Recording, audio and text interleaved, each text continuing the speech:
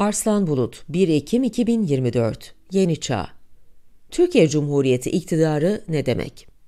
CHP Genel Başkanı Özgür Özel, Ankara'da Zübeyde Hanım Sosyal Tesisinde düzenlenen birinci basamak ve koruyucu sağlık hizmetleri çalıştayında konuştu.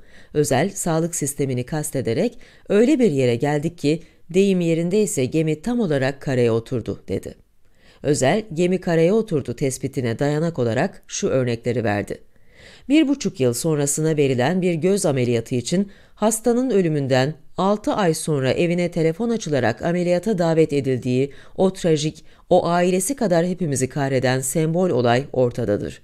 Bugün hastanelerde endoskopi için bir yıl sonrasına gün verilmesi normalleşmiş, günü veren utanmaktadır, alan şaşırmaktadır ama bu sistemi kuranlar bu meseleye müdahale edememektedir. Çünkü oluşturdukları sorun tamamen yapısaldır. Önümüzdeki Türkiye Cumhuriyeti'nin iktidarında gerçek anlamda halkın iktidarı konulduğunda bu sorunlar kökünden çözülecektir. Hastaneler milletin, hizmet etme görevi devletin, onuruyla yaşama hakkı da bu milletindir. AKP iktidarının en iddialı olduğu sağlık alanında durum bu kadar kötüyse diğer alanlar ne durumdadır?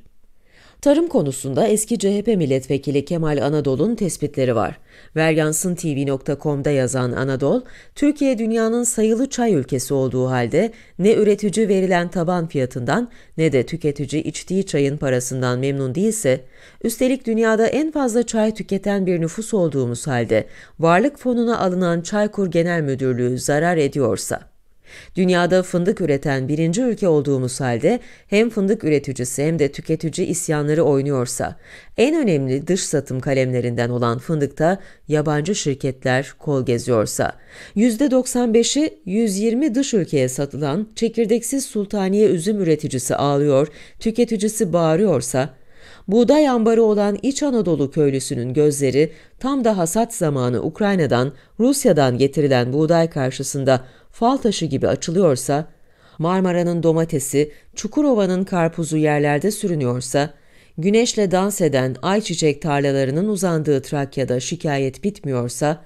yanlış pamuk politikası yüzünden dokuma sanayicileri Mısır'a kaçıyor, fabrikalarını oraya taşıyorsa, zeytini hem üreten hem yağını çıkaran hem dışarıya satan hem de tüketenlerin sorunları bir türlü çözülemiyorsa, her yıl cayır cayır yanan ormanlarımıza karşın hala düzenli bir uçak filomuz yoksa, asgari ücretlinin, emeklinin, öğrencinin, emekçinin durumu ücret, maaş ve paradan çıkıp insan hakları sorununa dönüşmüşse, ev sahipleriyle kiracılar savaş haline getirilmişse, derin bir yoksulluk tüm ülkeyi kaplamışsa diye devam eden yazısını iç ve dış politika çıkmazlarından da örnekler vererek 2002'den bu yana halktan her istediğini alan, istediği gibi at oynatan bir iktidara söylenecek sadece iki sözcük vardır.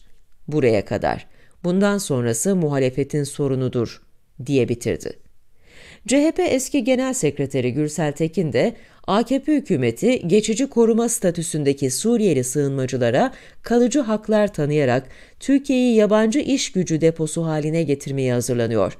Geçici koruma altında bulunan bu kişilerin asıl amacı ülkelerine geri dönmek olması gerekirken hükümet onları Türkiye'ye kalıcı olarak yerleştirmeyi planlıyor. Bu hamle ülkemizi yeni bir göç dalgasına açık hale getirmekten başka bir şey değildir. Bu proje vatana ihanet boyutunda bir sorumsuzluktur, dedi.